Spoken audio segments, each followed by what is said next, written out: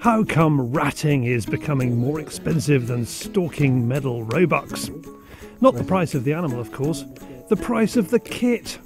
This evening, Tim has a Daystate Delta Wolf with Pulsar Digex scope on top.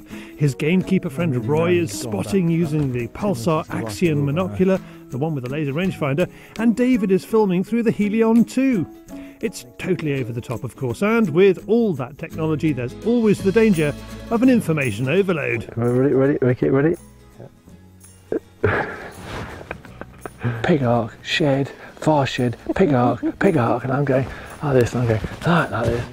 Before heading out to this little petting zoo, Tim had changed the MTC scope on the Daystate to the NV. He's been hunting with it already, as well as taking badger close ups when stalking rabbits.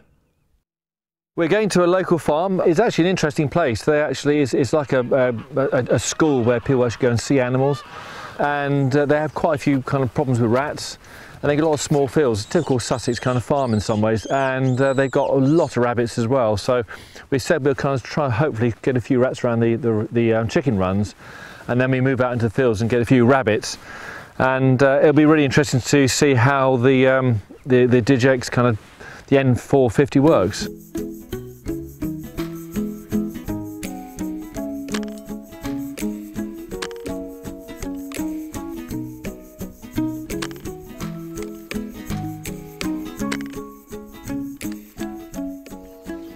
Back to the farm, and we're anticipating Roy will be on fire tonight.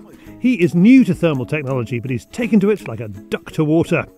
However, he has made some home improvements to the Pulsar, which he is keen for the Pulsar HQ in the Ukraine to consider. Ask you about his technology. You got your specs on you. Go on. Come on. Come on, Roy.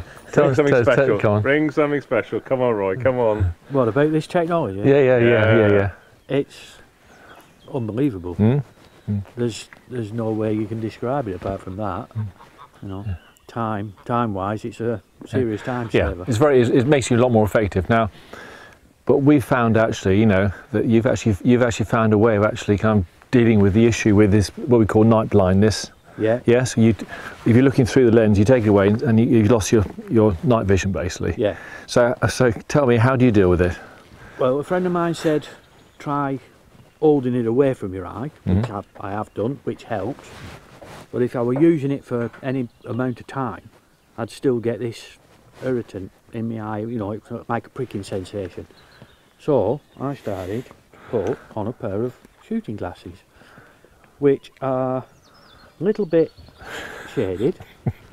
and at night you can still see, no trouble at all. You, yeah? Yeah, but, well, you, you're not really looking through your but eyes. everything's orange at night, so it's dark and orange. Makes no difference, doesn't it? Does it? You're okay. looking through this, aren't you? Right, okay. So if yeah. you go out in a field, you know, and then obviously if you're going to take a shot at something, just take it off. Okay. But otherwise, you can leave it on this sort of light and look through it, and it doesn't alter anything at all. So it's, I'm just checking the date actually. It's not April the first, is it? No. No. This is this is for real, is it? This is for real. Honestly, I I tried one a while ago, um, a FLIR hmm. that someone lent me, and I I thought, yeah, this is fine, and then you get that pricking sensation, and I never used it. So David kindly lent me this one, and I tried it, and I thought there's got to be something. So I started looking for Quality Street a box of Quality Street so I could undo the wrapper on the nut one, the purple one, to put the wrapper up. Hang on. This, this, this, this, is, oh this, this, is, this, is, this is getting worse. Oh this is getting God, worse. R&D at Pulsar and you come up with a Quality Street wrapper. A Quality Street wrapper. All I wanted to do was cover the front lens. Why purple? any colour. You just like matter. that colour. You like I that flavour. Well, it's just that when we were kids, we'd always look through that, and it was, you know. So I thought, logically, Quality Street, so or whatever it is, yeah. and I couldn't find any. So I found a pair of my wife's old sunglasses, which were darker than this, and I took the lens out of the right eye and I put left the lens in the left eye and I used it and yeah, I got the benefit from it. It didn't alter what I was seeing at okay, all. That's interesting. And then I tried these and these are fantastic because it doesn't alter at all. Okay. Well, perhaps a bit later on when it gets dark, we'll um, we'll try this this theory. But you haven't you haven't convinced me, I mate. wish you. Sorry, I want the quality street. Yeah. To be perfectly honest, I want to see prototype number one. to be perfectly honest, it helps me. Mm. I don't say it's going to help everybody, Mm. but it seems to help me. So Why Okay. didn't Pulsar think of that? Quality But street. yeah, exactly. Oh, yeah. Quality Street. Yeah. I mean, couldn't get simpler. See, there we are. there you go, mate. Well done. Roses. Yeah. Roses. Glad you see you, you bring everything to every time we see you. Bring something new. Bring something new. Yeah. At least we weren't blowing on anything this time. Magnification. The night is young. Okay. We'll give it We'll, a go. we'll give it a go later on. Incredibly, the big question is do they sell Quality Street in the Ukraine? And we can't miss out on the additional strap for ease of deployment. On with the ratting, and there's movement, but all activity is taking place behind the mesh, which Tim's not keen to shoot through. What are you adjusting at the moment, Tim? So I'm just into night mode. So it goes from the bright screen, hopefully, to the. Um, there we go. So we now, so we're now in red. So it's just a lot better, obviously, at night time because the the glare. I can Oh, actually it's in change. red. I'm going to have to go from my. I'm going to have to change mine to get the.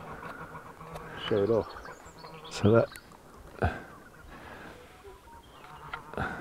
that's that's day that's day mode. Mm.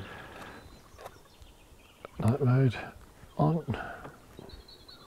And that's night mode. There you go. So it's not so bright. All adjustable.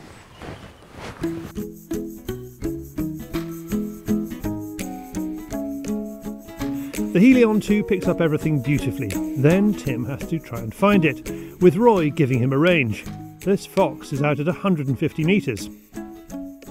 There are a lot of rats, but they are fast on their feet.